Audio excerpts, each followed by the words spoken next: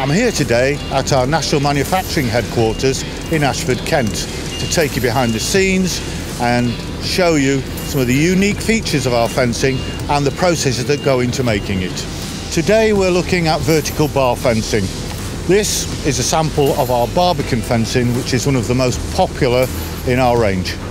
We also have variations, including the addition of finials and rounded pales, as well as crank top and barb top pales.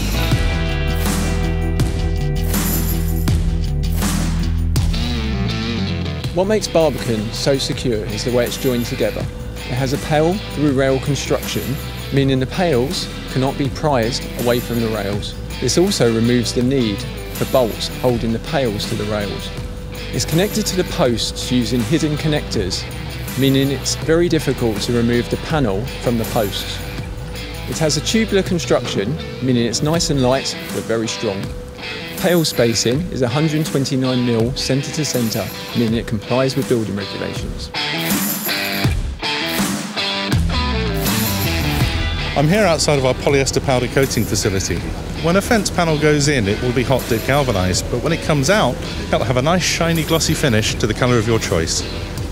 Unlike traditional paint that needs to be renewed every year, polyester powder coating is a lot more durable. It doesn't chip, it doesn't flake, it doesn't crack, and it means that your product is a lot less vulnerable to rust. Vertical bar fencing is so versatile. It can be installed around a school perimeter or even a high security data centre. It's also available with a CPNI or LPS 1175 rating and secured by design preferred specification approval.